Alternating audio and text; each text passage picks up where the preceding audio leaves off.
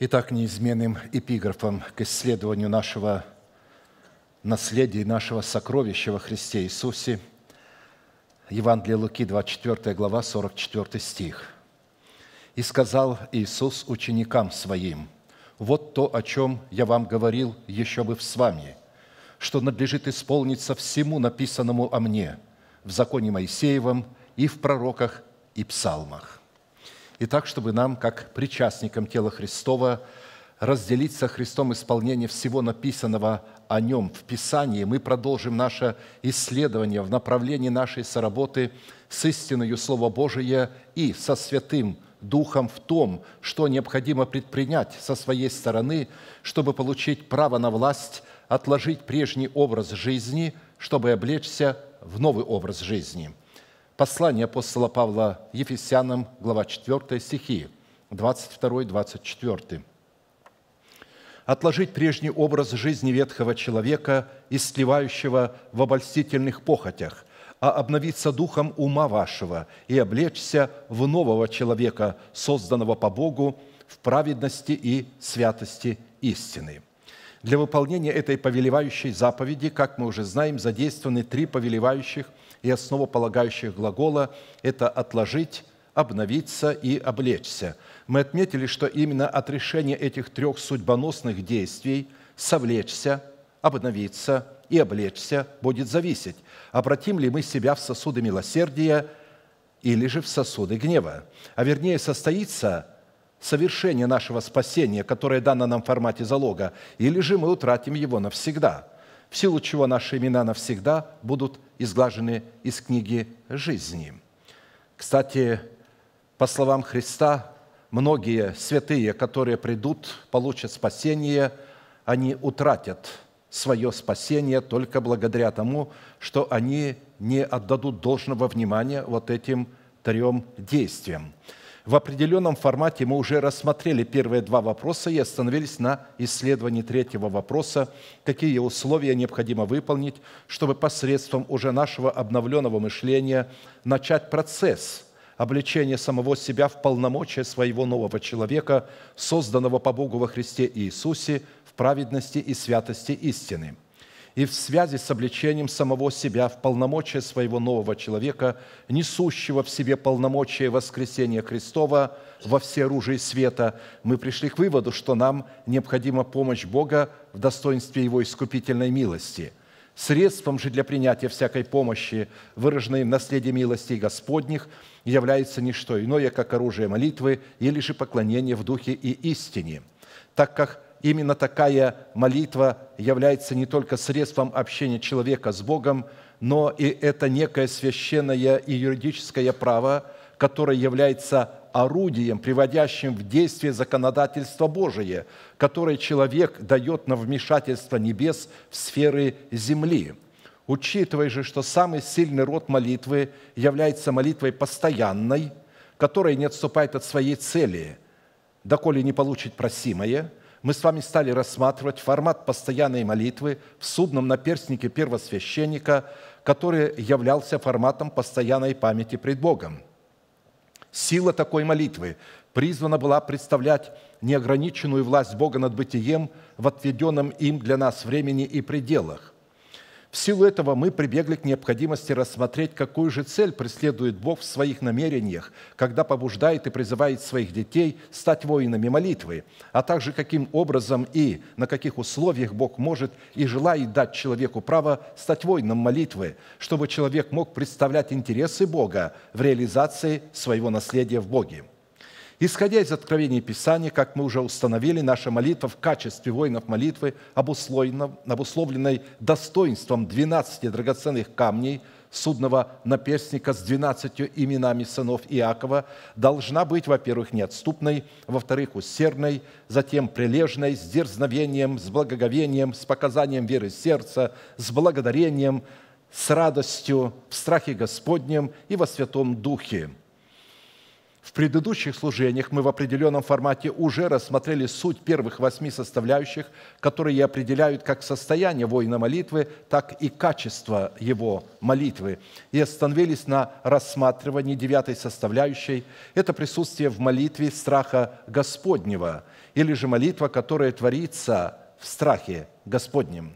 Но прежде как мы уже это сделали неким таким основанием, я вновь проведу антонимы или противоположности тем свойствам молитвы, которые уже ранее являлись предметом нашего исследования, потому что на фоне антонима всякого признака лучше и яснее будет смотреться, видеться характер самого признака молитвы. Так, например, антоним неотступности – это неверность и непостоянство. Антоним усердия – это противление. Антоним прилежности – это лень. Антоним дерзновения – это дерзость. Антоним благоговения – это пренебрежение и ненависть. Антоним веры Божией – это неверие или противление вере Божией. Антоним благодарности – это неблагодарность и жестоковыйность. Антоним радости – это печаль или уныние, которое сушит кости. Антоним страха Господнего – это страх человеческий – как и в предыдущих достоинствах молитвы, нам необходимо было рассмотреть четыре классических вопроса. Из какого источника проистекает страх Господень и какими достоинствами или критериями наделен страх Господень в Писании? Какое назначение призван выполнять страх Господний в наших взаимоотношениях с Богом, друг с другом и со всей землею? Какую цену или какие условия необходимо выполнить, чтобы исполняться страхом Господним в молитве – и по каким результатам следует проверять самого себя на наличие в своем сердце страха Господня. На предыдущих служениях мы в определенном формате уже рассмотрели суть первых двух вопросов и остановились на рассматривании вопроса третьего. В кратких формулировках я приведу на память, в чем состоит суть страха Господня, противопоставленного страху человеческому. Мы отметили, что как страх Господень, так и страх человеческий – это на самом деле две абсолютно разные программы, исходящие из двух диаметрально противоположных источников, обуславливающих программу вечной жизни, исходящей от Бога, содержащей в себе свойства и природу Бога, и программу вечной смерти, исходящей из недр падшего Херувима, содержащей в себе свойства и природу падшего Херувима. Мы знаем, что первый Адам через неповиновение Богу преобразовался в программное устройство падшего ангела и унаследовал от него программу противоположного Богу страха, которая была передана всему человечеству и стала называться страхом человеческим, хотя на самом деле это тот самый страх, который, которым обладает падший архангел – Характер, заключенный в страх Господень, как и предыдущее свойство, предписывается Писанием для творчества молитвы как заповедь, как неуклонное предписание и как неотложный военный приказ, невыполнение которого карается смертью, выраженной в окончательном разрыве мирных отношений с Богом. Страх Господень как программа, определяющая жизнь Бога, обуславливается источником премудрости Божией и является содержателем и выразителем этой премудрости. И как программа может пребывать и выражать себя не иначе, как только в программном устройстве, обуславливающем мудрое сердце возрожденного от Бога человека, который становится обладателем верного разума, пребывающего в заповедях Господних. Посредством страха Господня человек становится обладателем верного разума, пребывающего в заповедях Господних. Начало мудрости – страх Господен. Разум верну всех исполняющих заповеди Его, хвала Ему пребудет вовек. Псалом 110, 10. То есть такой человек может воспевать вечную хвалу Богу. Мы отметили, что причина многих заблуждений и косностей как раз и кроется в том, от чего наш разум поставлен в зависимость. Если мы ставим наш разум в зависимость от религиозных людей – мы будем угождать их косности, их невежеству и их религиозным амбициям. Если поставим свой разум в зависимость от преданий человеческих, то ради этих преданий мы также будем устранять заповедь Божию. Если поставим свой разум от логического мышления или рационального, или приобретенного опыта, то мы также будем далеки от страха Господня. Так как страх Господен в достоинстве премудрости Божией – хотя и не против логического или рационального мышления, но в силу своего извечного бытия и своей превознесенности над временем пребывает в четвертом измерении, а посему не зависит от логического или рационального мышления и господствует над ним.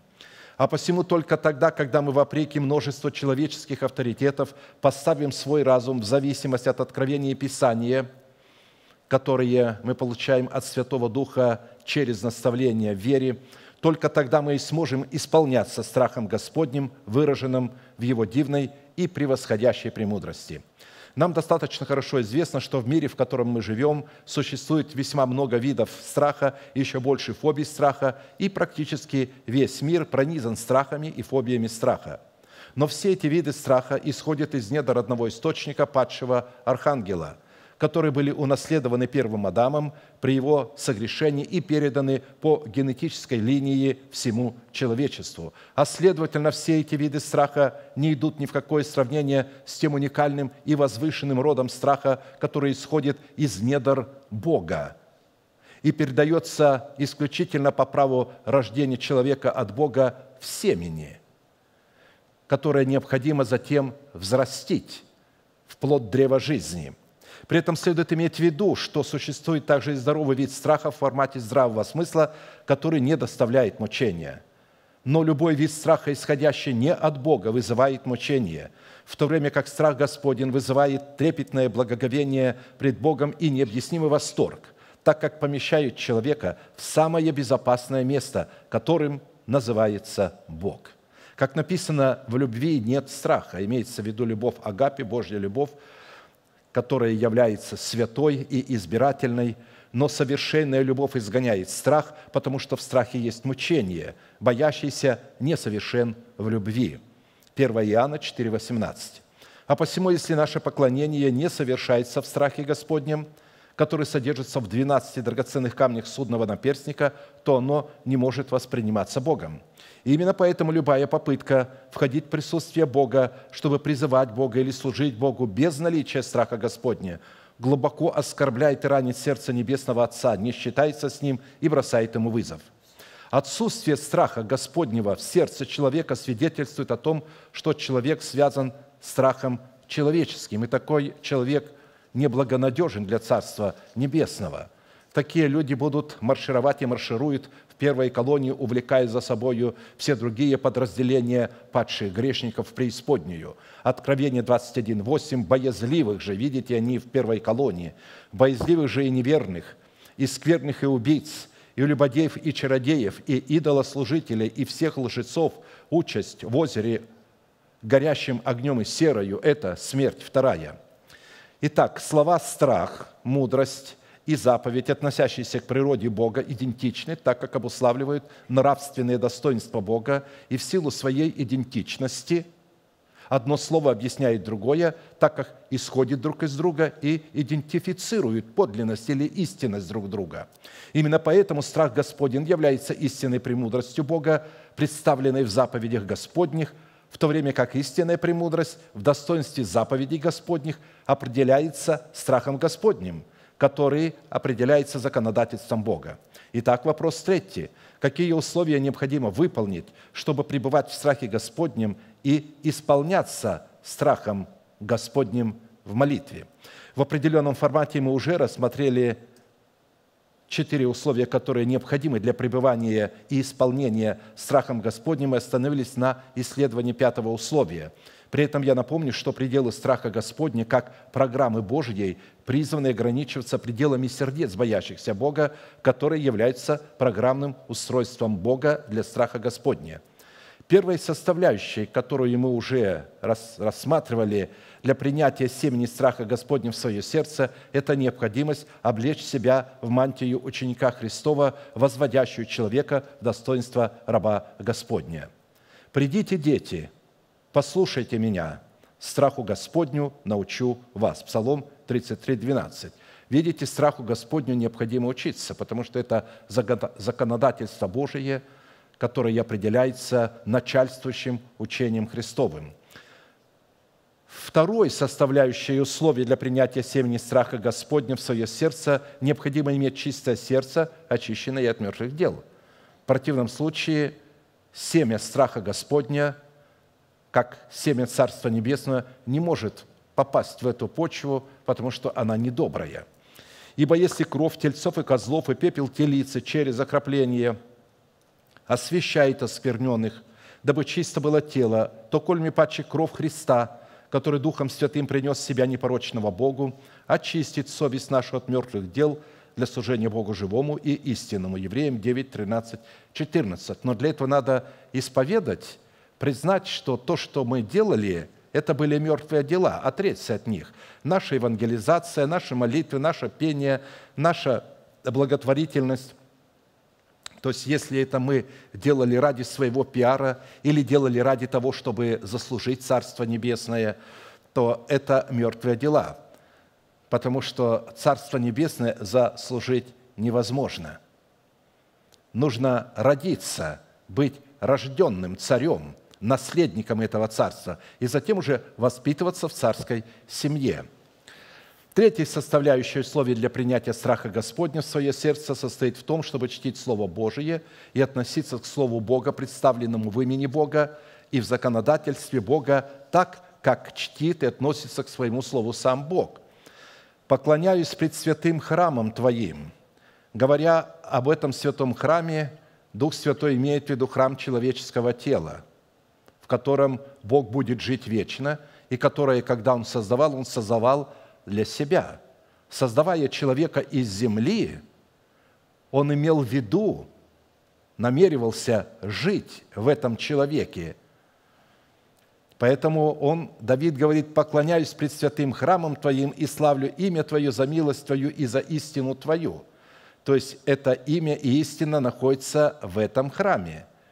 «Ибо Ты возвеличил Слово Твое именно в этом храме, превыше всякого имени Твоего».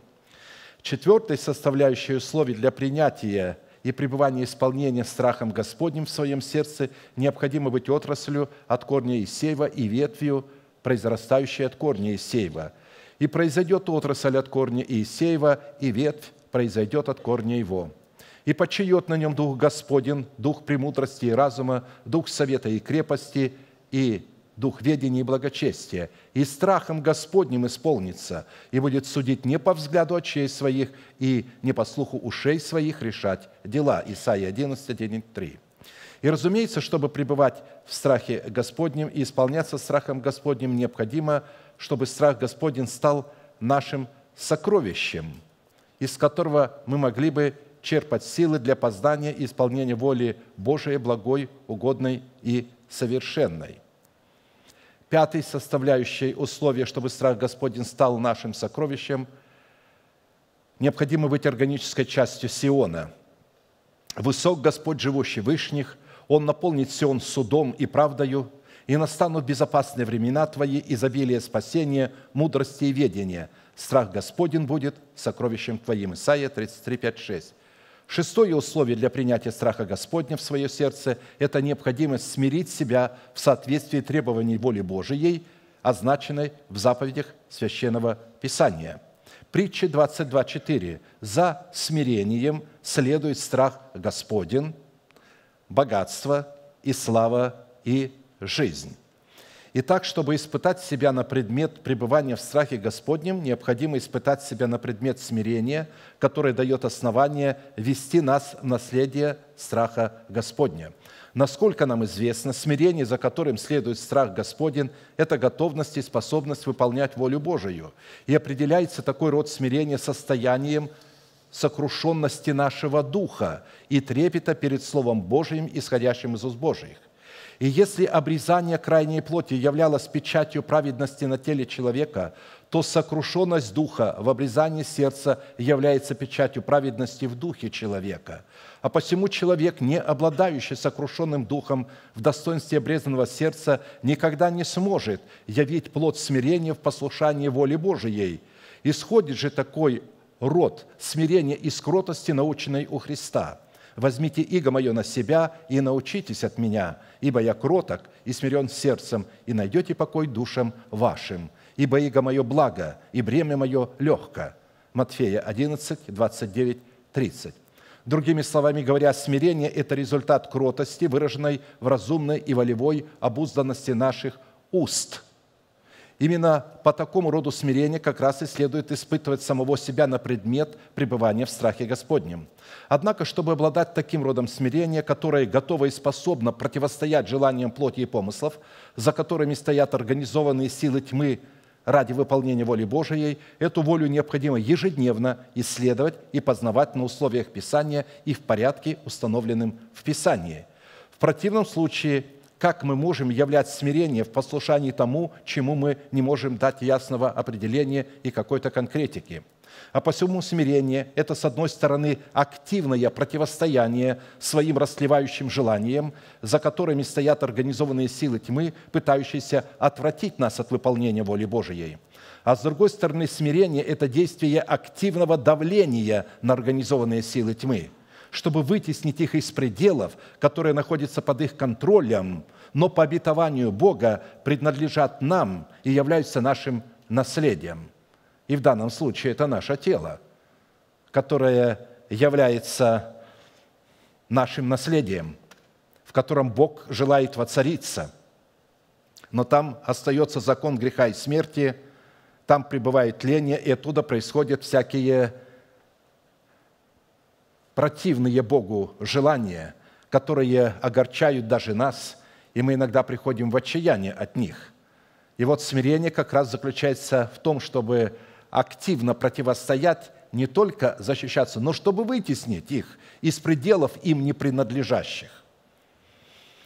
Итак, не будьте нерассудительны, но познавайте, что есть воля Божия, и не упивайтесь вином, от которого бывает распутство, но исполняйтесь духом, назидая самих себя псалмами и словословиями и песнопениями духовными, поя и воспевая в сердцах ваших Господу, благодаря всегда за все Бога и Отца во имя Господа нашего Иисуса Христа, повинуясь друг другу в страхе Божием». Ефесянам 5, 17, 21.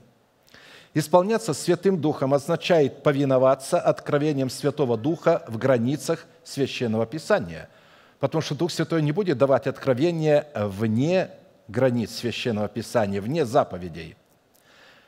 Далее, исполняться Святым Духом означает немедленно и неукоснительно выполнять откровение Святого Духа в границах Священного Писания. Далее, исполняться Святым Духом означает водиться и руководствоваться откровениями Святого Духа в границах Писания. И далее исполняться Святым Духом означает утолять жажду и алканье – откровениями Святого Духа в границах Священного Писания. И еще одно исполняться Святым Духом – это уповать, наслаждаться и успокаиваться откровениями Святого Духа, содержащимися в границах Священного Писания. Повиноваться же друг другу в страхе Божьем следует исключительно в границах иерархической субординации, означенной в границах заповедей Господних. Таким образом, смирение, по которому следует определять наше пребывание в страхе Господнем, это способность княжить в пределах своей ответственности. И в первую очередь это княжить над собою в страхе Господнем, поставленным или же представленным в заповедях Господних, чтобы подчинять сферу своих эмоций исполнению воли Божией. При этом будем иметь в виду, что существует большая разница между тем, когда Бог смиряет нас, и когда мы сами смиряем себя перед Богом на основании истины, которую мы получаем через благовествуемое Слово. Для примера активного смирения, выполняющего волю Божию, я приведу часть одного богодухновенного изречения, в котором смирение представлено в противостоянии организованным силам тьмы и оказанию давления на эти противные воли Божией силы. Это Псалом Давида 143, 1, 2. «Благословен Господь, твердыня моя, научающий руки моей битвы, и персты мои брани. Милость моя и ограждение мое, прибежище мое и избавитель мой, щит мой, и я на него уповаю. Он подчиняет мне народ мой». Разумеется, чтобы Бог мог научать наши руки битве и персты нашей брани, нам необходимо облечься в достоинство ученика Христова.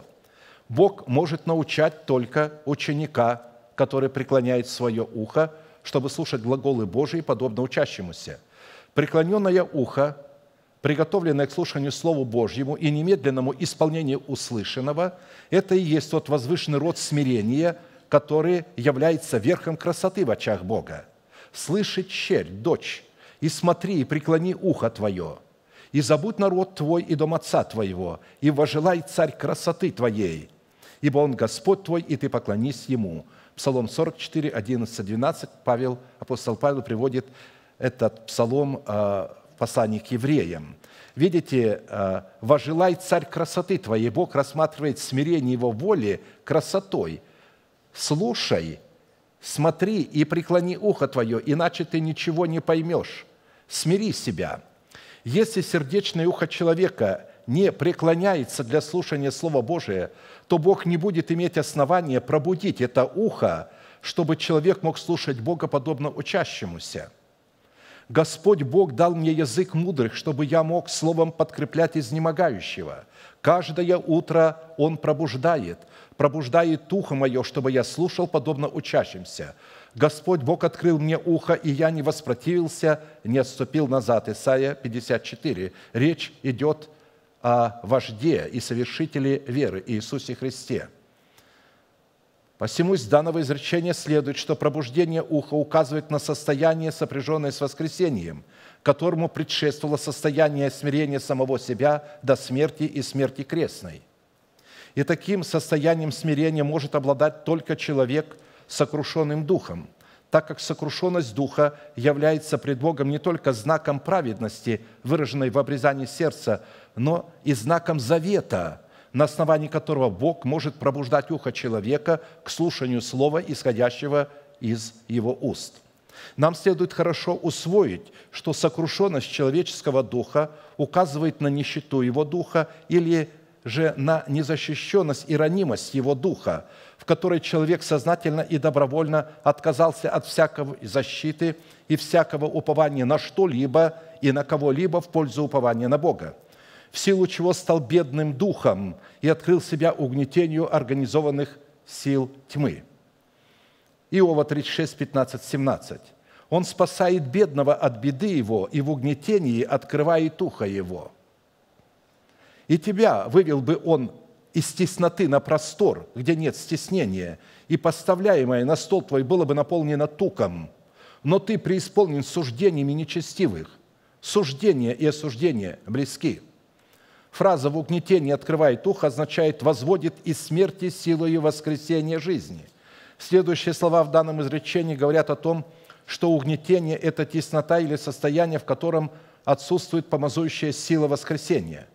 Подобно теснотой Бог – показывает нам состояние нашего сердца, насколько оно соответствует требованиям смирения, дающего Богу основание открыть наше ухо, чтобы вывести нас из состояния смерти на просторы воскресения.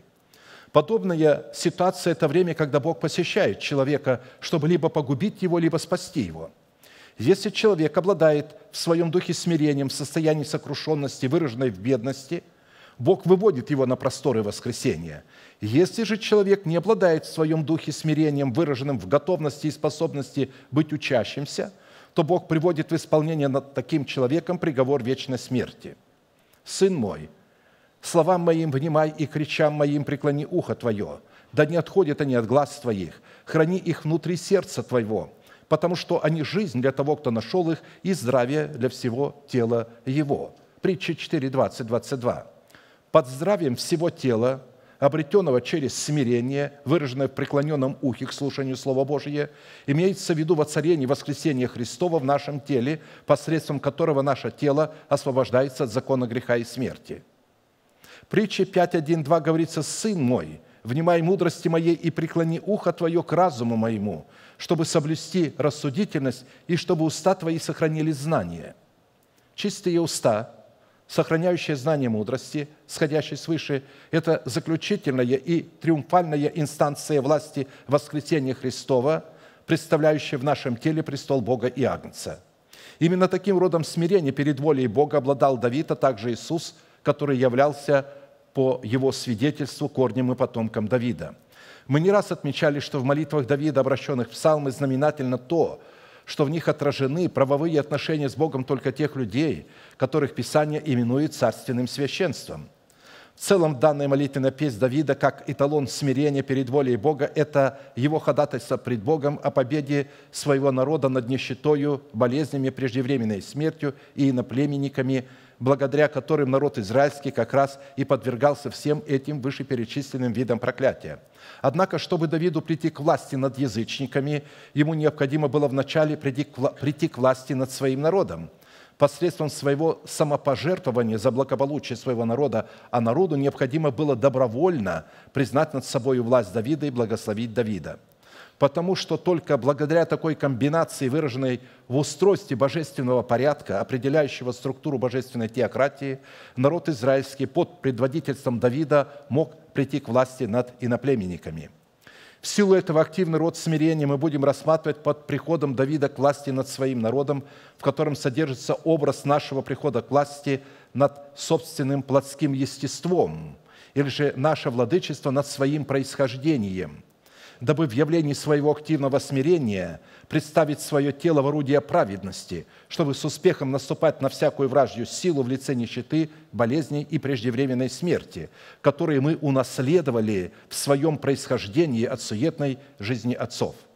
В данной части имеющегося эталона смирения Святой Дух обозначил через Давида те сферы сотрудничества с Богом и те точки соприкосновения с Ним, благодаря которым Бог – через наше смирение перед Его волей будет приводить нас к власти не только над нашим плотским естеством, но и в целом над всем нашим призванием или же предназначением. И эти точки соприкосновения с Богом представлены в возможностях Бога, соработая с которыми Давид пришел к власти над своим народом, благодаря чего он мог исполнить в отведенном для него времени и пределах свое предназначение. Когда Давид говорит, что Господь подчиняет мне народ мой – то этим самым он раскрывает работу своего смирения с возможностями Бога, содержащимися в имени Бога, чтобы подчинить Давиду народ, из которого он происходит, который добровольно должен был согласиться с избранием Бога и помазать над собой Давида царем. И пришли все старейшины Израиля к царю в Хеврон, и заключил с ними царь Давид завет в Хевроне пред Господом, и помазали Давида в царя над Израилем. Второе Царств 5.3. В силу имеющегося принципа нам следует разрешить вопрос, каким образом обетование данного имени Бога может относиться к царям и священникам во Христе Иисусе. И для разрешения этого вопроса нам придется рассмотреть следующий ряд вопросов. Какими критериями определяется имя Бога, соработая с которым Давид пришел к владычеству над народом, из которого происходил – какое назначение призвано производить владычество над народом, из которого мы происходим в наших отношениях с Богом. Какую цену необходимо заплатить, чтобы соработать с возможностями Бога для владычества над своим происхождением – а также по каким результатам следует судить, что Бог действительно подчинил нам народ, из которого мы происходим. Итак, вопрос первый. Какими критериями определяется имя Бога, данное Давиду, а следовательно и всякому человеку, приходящему к Богу для владычества над народом, из которого он происходит. По сути дела, чтобы определить критерии, заключенные в имени Бога, выраженные в Его возможностях подчинять нам народ, из которого мы происходим, нам вначале следует вспомнить, какими критериями определяется имя Бога, выраженное в Его владычестве над народом, который происходит от Него – так как именно соработа с этими возможностями Бога позволила Давиду прийти к власти над народом, из которого он происходил, а народу позволила добровольно подчинить себя власти Давида. Нам достаточно хорошо известно, что все видимое и невидимое, включая избранный Богом народ, произошли или получили свое начало от семени слова, исходящего из уст Божиих. Нам также хорошо известно, что Слово, исходящее из уст Божьих, является одним из Его многочисленных имен, возвеличенных Богом превыше всякого Его имени и поставленных во главу всех имен Бога. Поклоняюсь пред святым храмом Твоим и славлю имя Твое за милость Твою и за истину Твою, ибо Ты возвеличил Слово Твое превыше всякого имени Твоего» устроение нашего тела в святой храм Бога, в котором Бог будет пребывать вечно и в котором будет являть свою милость и истину к своему народу, является результатом того, что Бог в нашем теле, которое Он предначертал быть Его святым храмом, возвеличил Слово Свое превыше всякого Своего имени – это ни много ни мало означает, что Бог добровольно подчинил себя Слову, которое происходит из Его уст, или же поставил себя в зависимость от своего Слова в храме нашего тела. Бог поставил себя в зависимость от своего слова только в храме нашего тела. И только там, потому что написано, что Он в храме это возвеличил. Такое деяние не только не умаляет Бога, а напротив возвеличивает Его и раскрывает Его как неизменного в Своем Слове. Эта концепция хорошо представлена в пророчестве Авакума. «На стражу мою стал я, и стоя на башне наблюдал, чтобы узнать, что скажет он во мне, и что мне отвечать по жалобе моей. И отвечал мне Господь и сказал, запиши видение и начертай ясно на скрижалях, чтобы читающий легко мог прочитать. Ибо видение относится еще к определенному времени и говорит о конце и не обманет. И хотя бы и замедлило, жди его, ибо непременно сбудется, не отменится». То есть то, что мы слышим через благовествуемое слово, это видение. Оно у нас возникает в мысленном образе. Мы должны четко написать его на скрижалях, и несмотря на то, что время может задерживаться, не в нашу пользу что-то может происходить, мы должны твердо уповать на Господа, чтобы читающий это видение мог легко прочитать. Когда он легко прочитает, только тогда он выполнит свое слово – Поэтому, исходя из этого и других мест Писания, следует, что Бог бодрствует и обязается выполнять, обязался выполнить только то свое слово, которое будет ясно начертано на скрижалях нашего сердца и исповедано нашими устами, как вера нашего сердца, в которой мы будем называть несуществующие обетования Божие как существующие. В силу этого для Бога господствовать над своим естеством – это бодрствовать над своим словом в святом храме человеческого тела, чтобы оно исполнилось в указанное им время. И простер Господь руку свою, Иеремия 1, 9, 12, и коснулся уст моих. Видите, коснулся уст. Мы знаем, что уста – это последняя инстанция власти – когда чистые уста могут призвать Бога, и тогда эти уста произносят слова, которые равнозначны словам Бога, исходящим из уст Бога. «И простер Господь руку свою, и коснулся уст моих, и сказал мне Господь, вот я вложил слова мои в уста твои. Смотри, я поставил тебя все день над народами и царствами, чтобы искоренять и разорять, губить и разрушать, созидать и насаждать. И было слово Господне ко мне, что видишь ты, Иеремия? Я сказал, вижу жезл миндального дерева. Господь сказал мне, ты верно видишь, ибо я бодрствую над словом моим, чтобы оно скоро исполнилось.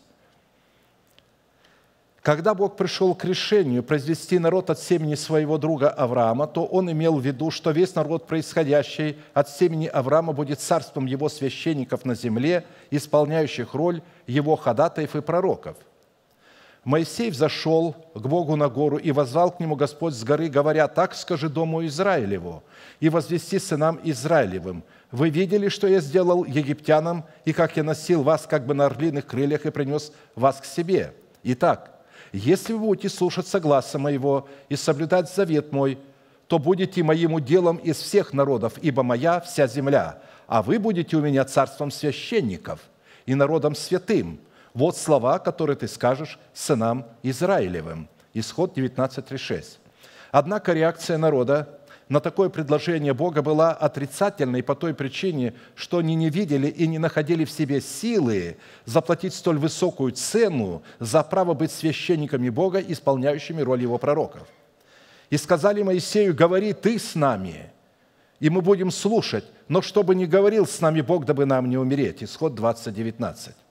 Таким образом, ответственность и назначение, которое призван был исполнять весь народ, легли на плечи одного человека – Моисея, который под тяжестью такой величайшей ответственности и такого высокого призвания буквально возопил к Богу. И тогда Бог взял часть тяжести бремени Духа Его и распределил на плечах 70 мужей, старейшин и надзирателей Израилевых. И сказал Моисей Господу, для чего ты мучишь раба твоего? И почему я не нашел милости пред очами твоими, что ты возложил на меня бремя всего народа сего? Разве я носил в чреве весь народ сей?» И разве я родил его, что ты говоришь мне, неси его на руках твоих, как нянька носит ребенка в землю, которую ты с клятвою обещал отцам его? Я один не могу нести всего народа сего, потому что он тяжел для меня. Когда ты так поступаешь со мною, то лучше умертви меня. Если я нашел милость пред очами твоими, чтобы мне не видеть бедствия моего». И сказал Господь Моисею, «Избери семьдесят мужей из старейшин Израилевых, которых ты знаешь, что они старейшины и надзиратели его, и возьми их, скини из собрания, чтобы они стали там с тобою. Я сойду и буду говорить там с тобою, и возьму духа, который на тебе, и возложу на них, чтобы они несли с тобою бремя народа, а не один ты носил». И прибежал отрок и донес Моисею и сказал, «Елдат и Мадат пророчествуют в стане». В ответ на это Иисус, сын Навин, служитель Моисея, один из избранных, его сказал, «Господин мой Моисей, запрети им». Но Моисей сказал ему, «Не ревнуешь ли ты за меня? О, если бы все в народе Господнем были пророками, когда бы Господь послал Духа Своего на них». Число 11, 11, 29. Исходя из имеющегося события, чтобы Бог мог подчинить нам народ, из которого мы происходим, мы точно так же, как Бог, должны бодрствовать над тем, что происходит из наших уст. А посему, говоря о владычестве над своим народом, из которым мы происходим, мы рассмотрим это владычество над землею, из которой мы происходим, так как практически владычествовать над народом, из которого мы происходим, и владычествовать над землей, из которой мы происходим, это одно и то же. Другими словами говоря, мы призваны Богом владычествовать над нашим происхождением, исключительно на условиях Бога. Бытие 3.19. «В поте лица твоего будешь есть хлеб, доколе не возвратишься в землю, из которой ты взят, ибо прах ты, и в прах возвратишься». Бытие 3.12. 3.19. Однако результатом того, что Бог будет приводить нас к власти над Своей землей, под которой следует разуметь власть над своим телом, должно служить знамение того, что наша земля в предмете нашего тела начнет отдавать нам свою силу и благословлять нас. Первоначальное возделывание земли, когда человек еще не согрешил против Бога, не предполагало изнурительного труда. Возделывание земли до своего грехопадения человек не только не утомлялся, но, напротив, при возделывании земли он получал от нее силу, энергию, одухотворение и удовлетворенность. Когда Бог намерился сотворить человека из земли, то уже тогда Он предопределил, что человек будет владычествовать над всей землею, которую Бог передаст ему во владение на его условиях. И сказал Бог, сотворим человека по образу нашему, по подобию нашему, и да владычествуют они над всею землей. Бытие 1, 26. Передача Бога передача Богом человеку владычества над всею землею была установлена на тех же условиях и в соответствии того же порядка, в соответствии которого Бог владычествует на небесах. С одной высоко значимой оговоркой, что несмотря на то, что Бог отдаст землю во владение человеку, сама по себе земля была и будет оставаться неприкосновенной собственностью Бога, Его великой тайной, Его святыней, в которую желают проникнуть ангелы. Господня земля и что наполняет ее. Землю не должно продавать навсегда, ибо моя земля, вы пришельцы и поселенцы у меня. Левитам 25, 23. Ибо не ангелам Бог покорил будущую вселенную, о которой говорим, Напротив, некто негде засвидетельствовал, говоря, что значит человек, что ты помнишь его, или сын человеческий, что ты посещаешь его. Немного ты унизил его пред ангелами, славою и честью венчал его и поставил его над делами рук твоих. Все покорил под ноги его.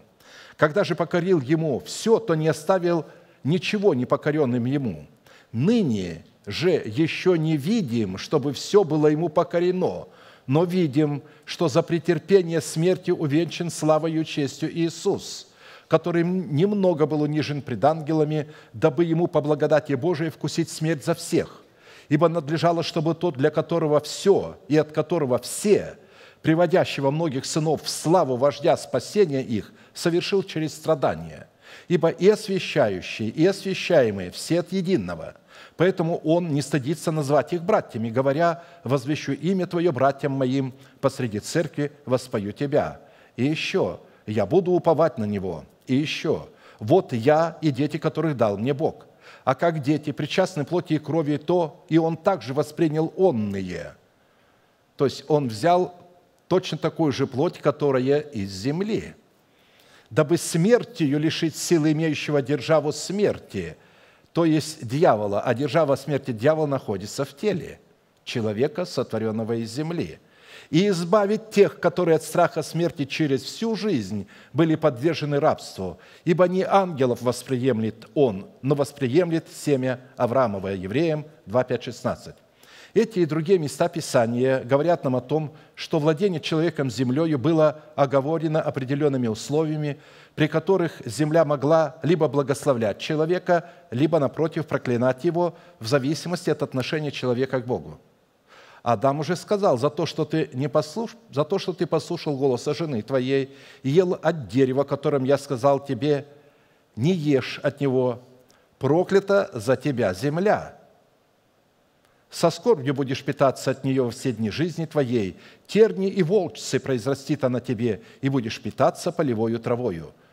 Бытие 3, 17, 18. Видите, отношение неправильное к Богу немедленно а, привело, что земля стала проклятой и не стала благословлять человека, а стала проклинать. Потому что благословлять – это давать ему силу, энергию, одухотворять его.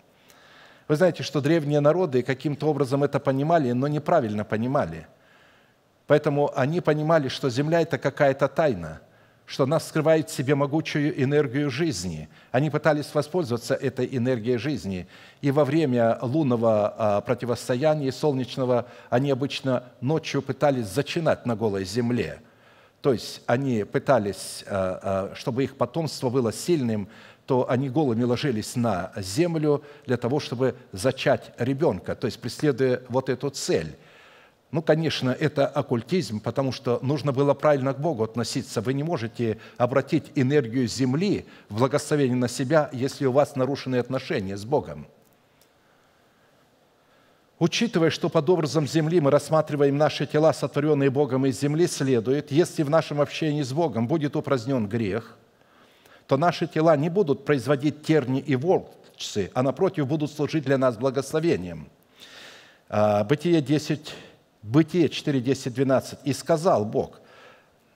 То есть, «И сказал Бог, что ты сделал? Голос крови брата твоего вопьет ко мне от земли. И ныне проклят ты от земли, которая отвезла уста свои принять кровь брата твоего от руки твоей. Когда ты будешь возделывать землю, она не станет более давать силы своей для тебя. Ты будешь изгнанником и скитальцем на земле».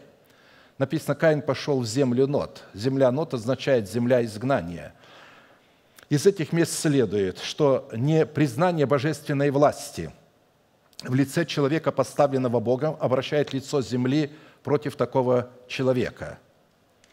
И напротив, добровольно признавая власть Бога в лице поставленного им человека, обращает лицо земли на нас. Вот посмотрите, как сказано у Иова 24-29. «От века с того времени, как поставлен человек на земле – веселье беззаконных кратковременно, и радость лицемера мгновенно. Хотя бы возросло до небес величие его, и голова его касалась облаков, как помет его навеки пропадет он. Сыновья его будут заискивать у нищих, и руки его возвратят похищенное им.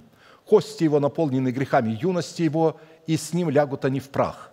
Если сладко во рту его зло, и он таит его под языком своим, бережет и не бросает его, а держит его в устах своих, то эта пища его в утробе его превратится в желчь аспидов внутри его. Имение, которое он глотал, изблюет. Бог исторгнет его из чрева его. Змеиный яд он сосет, умертвит его языки хидны. Не видать ему ручьев, рек, текущих медом и молоком. В полноте изобилия будет тесно ему, всякая рука обиженного поднимется на него. Когда будет чем наполнить утробу его, он пошлет на него ярость гнева своего и одождит на него болезни в плоти его. Убежит ли он от орудия железного, пронзит его лук медный, станет вынимать стрелу, и она выйдет из тела, выйдет, сверкая сквозь желчь его. Ужасы смерти найдут на него, все мрачное сокрыто внутри его. Будет пожирать его огонь, никем не раздуваемый. Зло постигнет его и оставшиеся в шатре его» небо откроет беззаконие его, и земля восстанет против него. Исчезнет стяжание дома его, все расплывется в день гнева его. Вот удел человеку беззаконному от Бога и наследие, определенное ему вседержителем. Итак, возвращаясь к словам Давида, «Бог подчиняет мне народ мой, под которым, разумеется, ответственность за наше призвание, которым является наш крест – так как эти две фразы взаимозаменяемы в силу того, что одна фраза объясняет другую. Потому что нести свой крест, крест преследования за Иисусом – это исполнять свое призвание так, как исполнял его Христос, неся свой крест. Вот как об этом говорит сам Христос. «Потому любит меня Отец, что я отдаю жизнь мою, чтобы опять принять ее. Никто не отнимает ее у меня, но я сам отдаю ее. Имею власть отдать ее, и власть имею опять принять ее. Сию заповедь получил я от Отца моего». Иоанна 10, 17, 18. А посему наше смирение состоит в том, когда мы на условиях Бога и в соответствии его порядка начинаем соработать с Богом в том, что Он подчинил нам наше призвание в лице нашего народа, под которым просматривается подчинение наших чувств. На иврите подчинить – это покорять, овладевать, брать, приобретать, господствовать, владычествовать, а также топтать и попирать. Дело в том, что когда в Писании глагол «подчинять» задействуется в отношении своего происхождения, то имеется в виду, что наше происхождение начнет благословлять нас. Когда же глагол «подчинять» задействуется в отношении наших врагов, то имеется в виду, что мы будем топтать и попирать их. Ибо земля, в которую ты идешь, чтобы овладеть ею, не такова, как земля египетская, из которой вышли вы, где ты, посеяв семя твое, поливал ее при помощи ног твоих, как масличный сад – но земля, в которую вы переходите, чтобы овладеть ею, есть земля с горами и долинами, и от, дождя, и от дождя небесного напаяется водою. Земля, которой Господь Бог твой печется, очи Господа твоего непрестанно на ней от начала года и до конца года. Второзаконие 11, 10, 12. Видите, очи Господа непрестанно находятся на теле человека. Это его последняя инстанция искупления – а посему, подводя итог критерию власти над своим происхождением, следует, что для того, чтобы Бог мог подчинить нам народ, из которого мы происходим в предмете наших чувствований, мы должны научиться благословлять человека, приходящего к нам во имя Господне. Иерусалим, Иерусалим, избивающий пророков и камнями побивающих посланных тебе. Сколько раз хотел я собрать детей твоих, как птица собирает птенцов своих под крылья, и вы не захотели – все оставляется вам, дом ваш пуст. Ибо сказываю вам, не увидите меня отныне, доколе не воскликнете благословен гряды во имя Господне». Матфея 23, 37, 39. То есть, доколе мы не благословим грядущего во имя Господне, то есть того, которого Бог послал. Итак, вопрос второй. Какое назначение признано производить владычество над народом, из которого мы происходим – насколько мы уяснили критерии владычества над своим происхождением, это обоюдное обязательство Бога и человека, которые призван выполнять каждый человек, приходящий к Богу. Таким образом, эти обоюдные обязательства фокусируются в одном человеке, где он, с одной стороны, должен бодрствовать над Словом своим в том, чтобы научиться признавать власть Бога в словах человека, которого поставил над ним Бог, и благословлять его. А с другой стороны – благословлять те сферы, за которые он несет ответственность пред Богом, и в первую очередь объединяя самого себя со своим призванием. Вот один из эталонов молитвы смирения, по которой следует испытывать себя на предмет пребывания в страхе Господнем. «Да будут сыновья наши, как разросшиеся растения в их молодости». А, то есть речь идет о плоде уст человека. «Дочери наши, как искусно изваянные столпы в чертогах». Речь идет о способности оплодотворять себя семенем Слова Божьего. «Да будут житницы наши полны, обильны всяким хлебом». Речь идет о Слове Божьем, которое должно жить в нас. То есть наша внутренность должна быть житницей для Слова Божия. «Да плодятся овцы наши тысячами и тьмами на пажитях наших». Речь идет о чистых мыслях, которые будут посещать наше мышление – а такие мысли могут посещать нас только тогда, когда наш разум будет обновлен. Да будут валы наши тучные. Речь идет о воле человека, которая будет помазана Духом Святым. Тучность – это помазанность. Да не будет ни расхищения, ни пропажи, ни воплей на улицах наших.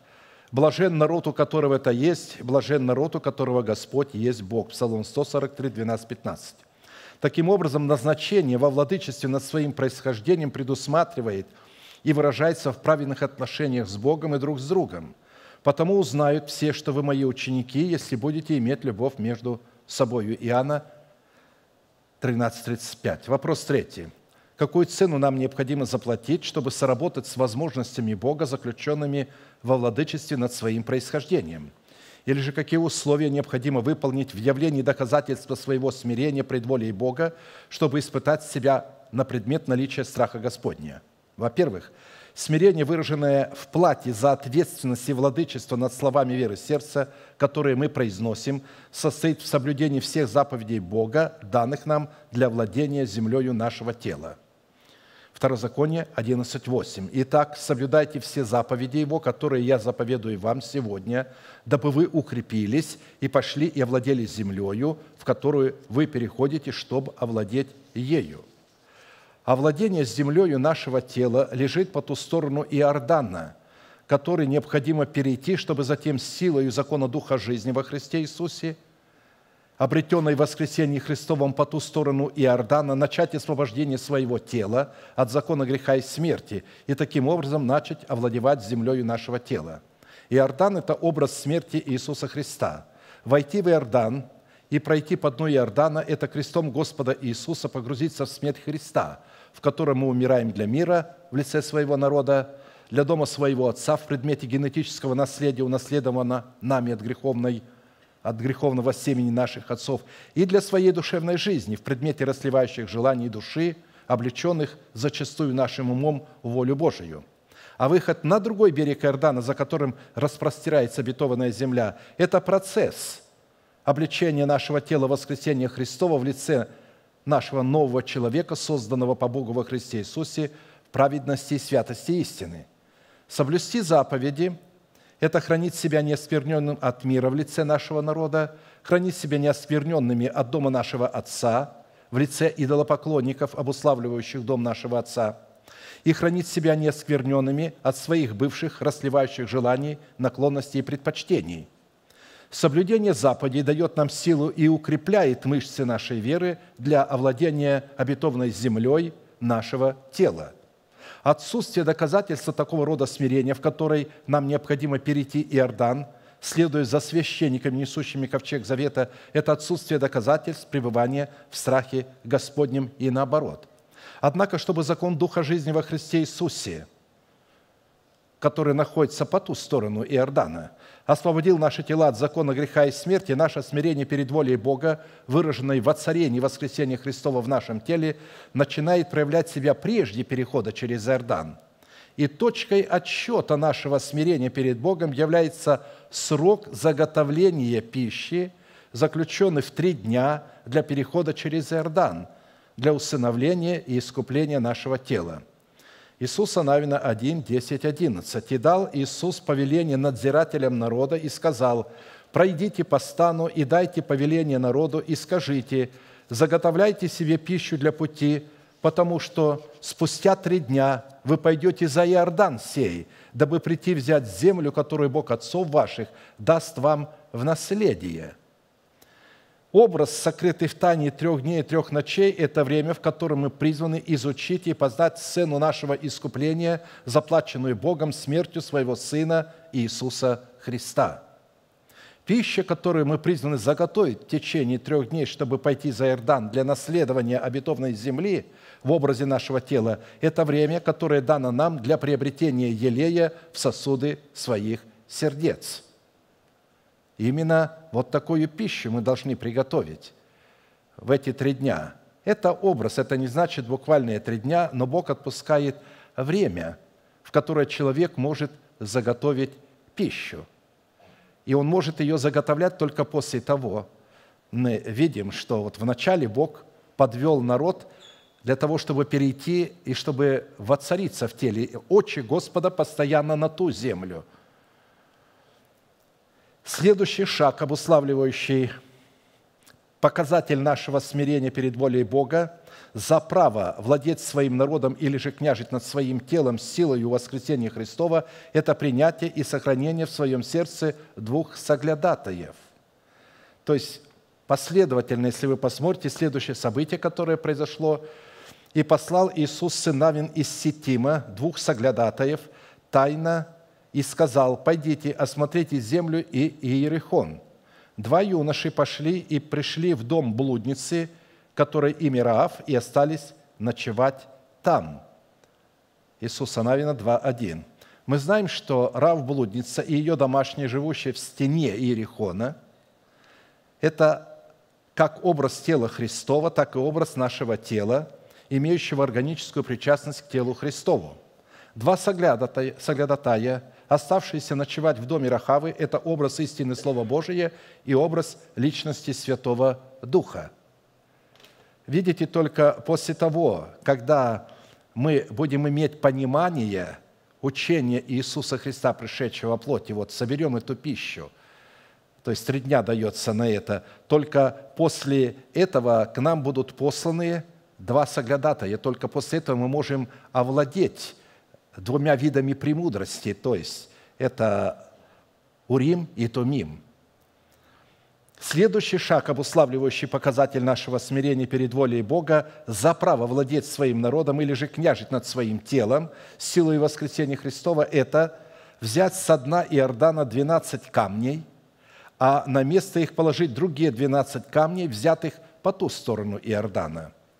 Когда весь народ перешел через Иордан, Господь сказал Иисусу, возьмите себе отсюда – из средины Иордана, где стояли ноги священников, неподвижно 12 камней, и перенесите их с собою и положите их на ночлеги, где будете ночевать в эту ночь, чтобы они были у вас знамением. Когда спросят вас в последующее время сыны ваши и скажут, «К чему у вас эти камни?» Вы скажете им в память того, что вода Иордан разделилась пред ковчегом завета Господа, когда он переходил через Иордан. И другие двенадцать камней поставил Иисус среди Иордана на месте, где стояли ноги священников, несших ковчег завета. Иисуса Навина 4, 1, 9. Итак, двенадцать камней, взятых со дна Иордана, это образ двенадцати жемчужных ворот с именами двенадцати имен сынов Иакова, дающих право на власть наследовать обетованную землю в предмете усыновления и искупления нашего тела – нам прекрасно хорошо известно, что жемчуг – это страдания, моллюски, и наше тело в жемчуге представлено вот этой инородной песчинкой. И она не может избавиться от нее и начинает вырабатывать перламутр, то есть жемчуг. И только благодаря этого жемчуга мы можем входить. Что это за жемчуг? Жемчуг – это закон Духа жизни во Христе Иисусе – Посмотрите, как он вырабатывается путем страдания, то есть через смерть, через прохождение через смерть. А двенадцать камней, взятых с места ночлега в земле хананской и положенных на дно Иордана, это образ нашего тела, в котором пребывает закон Духа жизни в предмете древа жизни, приносящего плод 12 раз в год, дающего на каждый месяц плод свой. Это победа над смертью, воскресением Иисуса Христа – то есть, посмотрите, он, он оттуда взял, а, а другие 12 отсюда поместил туда. То есть, после воскресения Христова у Христа оказались ключи ада и смерти. Отец передал ему. Он сказал, я был мертв и все жив во веки веков и имею ключи ада и смерти. Вы знаете, что закон греха и смерти – это закон Моисеев, который обнаруживает грех в теле человека – обнаруживает тление, это результат греха, и поэтому он восстает против него, он его убивает. И когда я законом для закона умираю в сердце Иордана, то когда я выхожу сюда, то уже есть жемчуг, результат страдания. Этот результат воскресения теперь находится. И вот этот результат воскресения, видите, каким образом он вытеснит закон греха и смерти, или же как – один закон преобразуется в другой закон, потому что и тот закон Божий, и тот закон Божий. Но только до тех пор, пока в теле есть тление, закон выступает против нас. Как только тления нет, то закон, обнаруживающий грех, греха нет. Теперь закон становится нашим другом. Он дан был для жизни. Он становится законом Духа жизни во Христе Иисусе. Если христиане полагают, что закон Духа жизни каким-то образом сам по себе придет, и что это такое. Закон Духа жизни – это результат, приобретенный страданиями за истину. Потому что мы страдаем за истину, потому что наше желание противиться истине, но мы убиваем эти желания, мы противимся им. Следующий шаг – обуславливающий показатель нашего смирения перед волей Бога за право владеть своим народом или же княжить над своим телом силой воскресения Христова, это запечатлеть нового человека печатью праведности, которую он имел до обрезания. Вот посмотрите, где идет запечатление нового человека. В то время сказал Господь Иисусу, «Сделай себе острые ножи и обрежь сынов Израилевых во второй раз». И сделал себе Иисус острые ножи и обрезал сынов Израилевых на месте, названном холм обрезания – написано «обрежь их второй раз». Хотя на самом деле они в первый раз получали обрезание, но Писание говорит «обрежь их второй раз».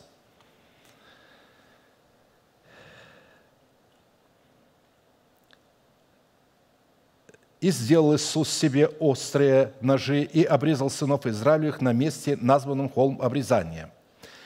Дело в том, что по исшествии из Египта весь народ, вышедший был обрезан, но весь народ, родившийся в пустыне, на пути, после того, как вышел из Египта, не был обрезан, ибо сыны Израилевы сорок лет ходили в пустыне, доколе не перемер весь народ, способный к войне. А вместо их воздвиг сынов их. Сих обрезал Иисус, ибо они были не обрезаны, потому что их на пути не обрезывали. И сказал Господь Иисусу, ныне я снял с вас пострамление египетское, почему и назвал то место Галгал, даже до сего дня. Итак, мы знаем, что люди, которые были обрезаны, это сыны тех людей, которые пали в пустыне. Практически это один и тот же человек, то есть он убивает себя, законом умирает для закона, и вот это вот новый человек, которого он рождает, это плод древа жизни. Но Люди, родившиеся в пустыне, это образ нового человека, созданного по Богу во Христе Иисусе в праведности и святости истине. Они уже были праведные. Обрезание нового человека – это такой акт смирения, в котором явлено сокрушение нового человека, свидетельствующее о несении своего Христа и следовании за Иисусом. Точно так, как там печать праведности, которую Авраам имел – а потом получил в обрезании для тела. Здесь новый человек получает обрезание, которое, то есть он уже имел эту праведность. Он родился праведным. Он родился в пустыне в общении с Богом.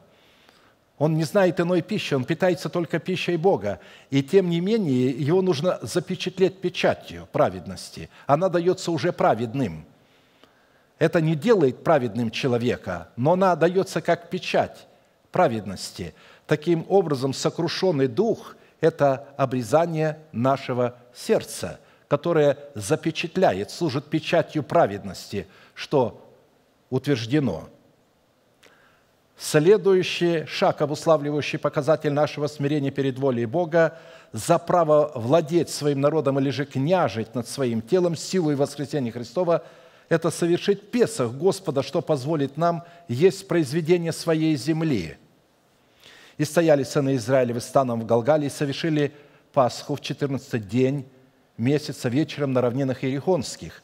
И на другой день Пасхи стали есть из произведений земли сей, а пресноки и сушеные зерна в самый тот день. А манна перестала падать на другой день после того, как они стали есть произведения земли. И не было более маны у сынов Израилевых, но они ели в тот год произведение земли ханаанской. Иисуса Навина 5, 10, 12. Разница между совершением Песах в Египте и на равнинах Иерихонских в земле хананских, хананской состояла в том, что Песах, совершенный в Египте за закрытыми дверями, помазанными кровью акца, дал им право на власть выйти из рабства Египта. В то время как Песах, совершенный в земле хананской, дал им право на власть взять во владение землю хананскую. Видите, какое назначение э, Песах.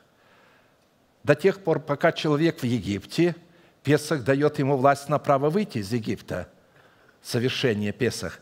Но когда он подходит к Иордану, чтобы перейти, и перешел через Иордан, И вот он уже стоит на берегу реки, то есть уже воскресение Христова, он вошел в эту землю, теперь надо ее осваивать, ее нужно брать. И прежде чем ее брать, Иисус Навин, написано, обрезывает их во второй раз, хотя это обрезывается новый человек, плод, печать праведности. Зачем? Для того, чтобы они получили право на власть взять во владение землю хананскую. То есть, чтобы взять тело человека во владение, чтобы тело стало принадлежать Господу на самом деле. Тело является святыней Господней, принадлежит Богу, но в таком состоянии Бог не может взять наше тело, потому что плоть и кровь, тление не наследует нетление. Но когда произойдет нетление, и нетление будет упразднено, и он облечет человека в воскресение Христова, а он его может облечь только после того, когда человек получит право на власть завоевывать. Мы будем дальше говорить, что это процесс, что это не сразу происходит. Мы видим, как город за городом, а, то есть израильтяне завоевывали. Бог говорит, я дал вам, а на самом деле мы будем завоевывать. Почему мы и говорим, это процесс обличения в нового человека – есть произведение земли – это жить верою или же питаться исповеданиями веры. Ибо от избытка сердца говорят уста. Добрый человек из доброго сокровища выносит доброе, а злой человек из злого сокровища выносит злое. Говорю же вам, что за всякое праздное слово, какое скажут люди, дадут они ответ в день суда. Ибо от слов своих оправдаешься, и от слов своих осудишься. Матфея 12, 34, 37. То есть от исповедания слова своего мы законом Духа жизни избавимся от закона греха и смерти. Праздные слова – это когда нет веры сердца, а есть только уста. Что ты говоришь мне, Господи, Господи, а слова мои бросаешь за свой хребет? Вот это есть праздные слова. Когда человек просто берет то, что написано здесь, и исповедует. Вначале надо то, что написано здесь, через благовествуемое слово, через слышание, не через чтение. Читать очень необходимо. Когда вы читаете, вы легко будете слушать. И когда вы слушаете, вот от слышания возрождается вера сердца. Вера от слышания Слова Божия. Притом она должна прийти, чтобы кто-то это делал, не мы. Чтобы кто-то нам говорил, чтобы мы услышали, но не все услышали. Вот Исаия говорит, не все он жалуется, Илья жаловался, не все услышали благовествование, вера от слышания. Немногие услышали. Почему? Не было преклоненное ухо. Они хотели на своих условиях э, иметь Царство Небесное. Так не получится. Писание говорит, что в день суда эти люди дадут отчет за то, что они брали слова Божие – и праздно их исповедали. Что ты говоришь мне, Господи, Господи, устами Твоими, а сердце Твое далеко стоит от меня? Сердце человека не оправдано. Там мертвые дела. Оно не запечатлено. А он, несмотря на это все, и не понимая даже этих мыслей, не зная этой истины, он пытается провозглашать «Я праведен». Особенно сегодня в этой праведности широко разглагольствуют лжехаризматы – Никто так не орет о праведности, как они. Живут как дьявол. Абсолютно ни их облик, ни их слова, ни их действия, ни их служение, ни их прославление, ни их молитвы вообще не соответствуют Слову Божьему. Вообще далеко стоят. И тем не менее они берут какое-то место, выдирают оттуда, извращают его, чтобы доказать вот это бесчинство, а, которое они творят, полагая, что Дух Святой действует среди них в то время, когда там Дух нечистый. Конечно же, они будут нас ненавидеть вместе с фарисеями и садукеями. Но для нас это только награда – ведь а, если вас ненавидят за правду, то вы получите награду. И, конечно же, эта награда будет Царство Небесное в теле человека, воцарение. Поэтому мы только должны этому радоваться. Сейчас мы склоним наши колени, кому возможно, наши головы в молитве, и будем молиться и благодарить Бога за то слово, которое мы имели возможность сегодня слышать. Дорогой Небесный Отец, во имя Иисуса Христа, я поклоняюсь вместе с народом Твоим на этом благословенном Тобою месте. которое издревле определила десница Твоя для поклонения святому имени Твоему.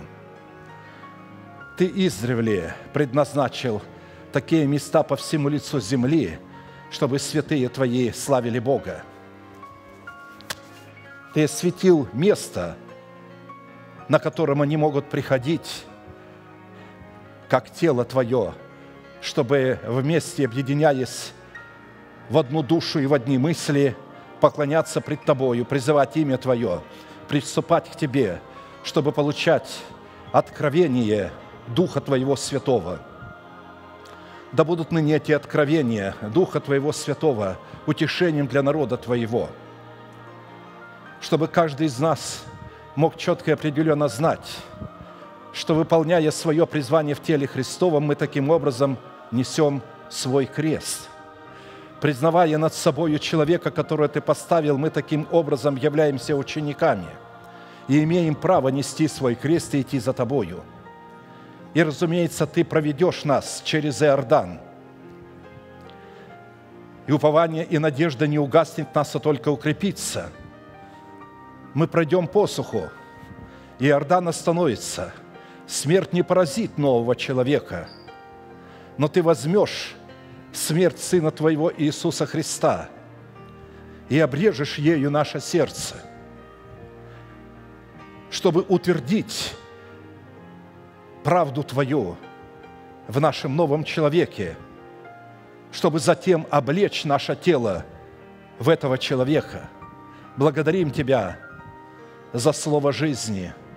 Благодарим Тебя за утешение, которым Ты утешаешь нас – ты сказал, что ты являешься таким удивительным Богом, который, если дал силу зачать, то обязательно даст силу и родить.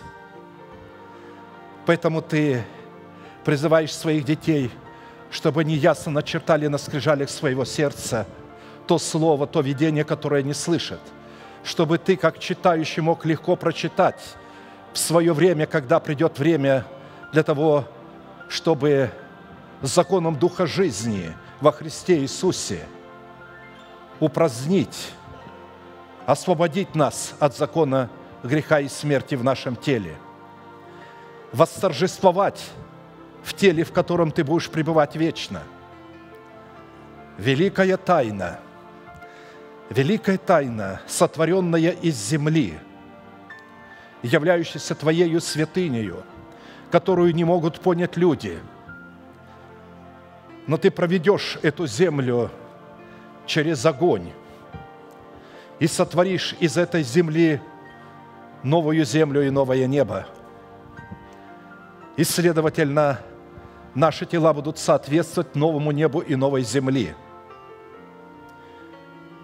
Да будет благословена милость Твоя, потому что Ты уже показал это творение. Ты соделал его во Христе Иисусе – и далее ты распространишь его на всех рожденных тобою детей, которые готовы будут принять заповеди Твои и пойти вслед их. Ты любишь послушных детей. Они послушные трансформируют себя в детей дьявола.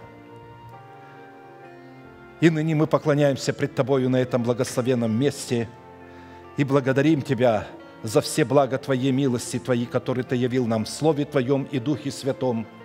Великий Бог, Отец, Сын, Дух Святой. Аминь. Отче наш, сущий на небесах, да святится имя Твое, да приедет Царствие Твое, да будет воля Твоя и на земле, как и на небе. Хлеб наш насущный подавай нам на каждый день и прости нам долги наши, как и мы прощаем должникам нашим. И не введи нас в свои искушения, но избав нас от лукавого, ибо Твое есть царство, и сила, и слава во веки. Аминь. А теперь закончим наше служение неизменной манифестацией. Могущему же соблюсти нас от падения и поставить пред славою Своею непорочными в радости, единому, премудрому Богу, Спасителю нашему, через Иисуса Христа, Господа нашего, слава и величие, сила и власть, прежде всех веков, ныне и во все веки. Аминь.